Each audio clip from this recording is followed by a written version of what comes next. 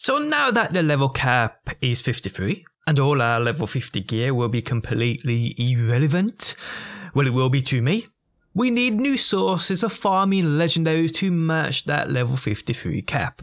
Today I bring you this amazing method in getting legendaries and at the same time, normal farming time, doubling up on all the legendaries you get. Yes, doubling them up. Double the drops. How's it going guys? My name's DPJ and today I'll bring you another BL3 video. If you do enjoy it, leaving a like really helps me out and subscribe if you want to see more. On screen now you can see my weekly giveaway along with last week's winner. To be in with a chance of winning this yourself, follow the instructions on screen now and good luck. So level 53 is now the cap. So we need new places to farm legendaries. And today I bring you what in my opinion is the fastest way in going about this. Now this legendary farm is somewhat a bug I did cover about a week back, but it still works so I'd take advantage of it while you can. It's Freddy within the handsome jackpot, but with a twist. Did you know that when it comes to fighting Freddy, he can sometimes appear as a level 2? What this means is you can more or less kill him within a couple of shots of basically any weapon in the game. Now how this is triggered is quite simple so let me explain and then I'll go on to explain the efficient farm in doubling up on all those legendaries. So go to the VIP tower upon the handsome jackpot and head up towards Shreddy's room. Here you will first have to take out all of his minion robots and then wait for him to spawn in. He's normally a level 50 plus, but he does indeed sometimes bug out and like I said, he comes in at a level 2.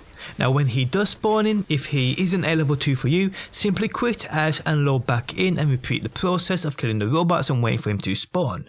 For me, he's almost always a level 2. For others, they do indeed have to spend a few minutes quitting out and loading it back up before he does appear as a level 2. Now I know for a fact this works on Xbox, PlayStation and PC as a lot of people in my Discord are loving it. So once he does appear as a level 2 for you people, you are then good to farming and how this works is as follows.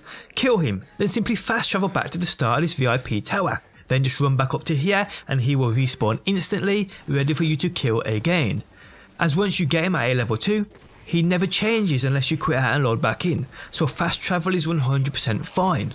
Now having the right weapon you can kill him stupid fast, spawning yourself in a ton of legendaries. Check this out on screen now, I kill him 3 times within a single minute, including the fast travel times, so you can see how efficient this is.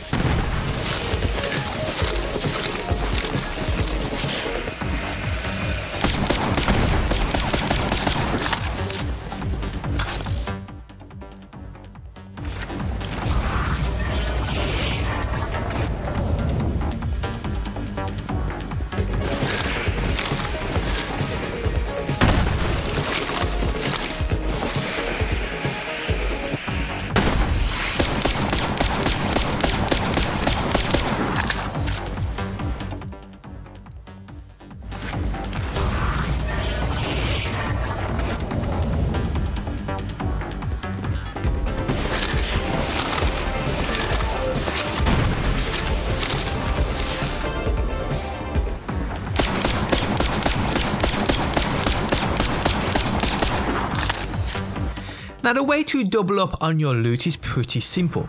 Add a split screen player into this. What I did was as I play on Xbox and you can't add a guest, on my alt account I created and leveled up a Zane within the Scrap Trap Nest XP farm, a video I posted yesterday which is super efficient. And this took no time at all. And when I got that Zane up to that max level, yes in this video it's a 50 as it's older footage, but he's a 53 now along with my main, what I did was add a split screen via the main menu, selected my alt account via a second controller and selected Zane and went back to Freddy. Now you don't even have to move on your alt account character and you'll still get those legendaries dropping from Freddy upon you killing him on your main. And what's even better about this people, if your alt account stays in spawn, he doesn't have to fast travel at all. So when you kill Freddy on your main and fast travel back to the start of this VIP area, it resets when you run back to Freddy. Your alt account doesn't have to fast travel with you, which makes this super efficient. You can put your second controller down, leave your alt account alone, and just farm on your main.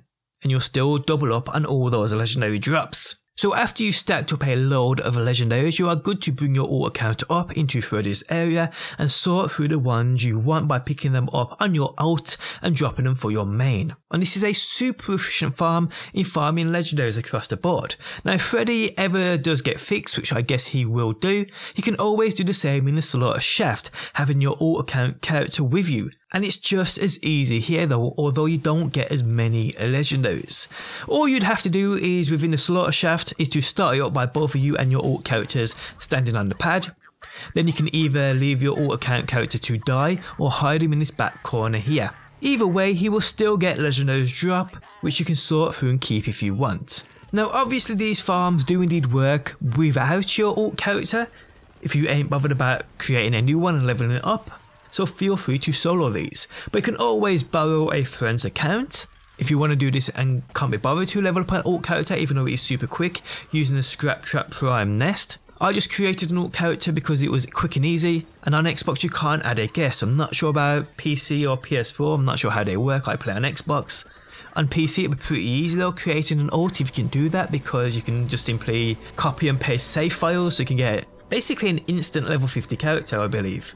On PS4, I'm not sure how it works, but I'm pretty certain you can create an alt account, have it signed in with your main at the same time, like you can on Xbox, and bring them both into the game via split screens. So that's pretty cool too.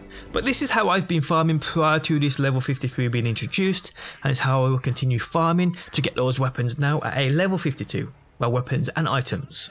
But on that note, we have come to the end of the video. If you guys enjoyed it, leaving a like really helps out. If you're new around here and want to see more Borderlands, be sure to subscribe. And if you never want to miss a video I upload, you can turn notifications on by hitting that bell button. But guys, thanks as always for stopping by. Hopefully you enjoyed the video and hopefully I will see you on that next one.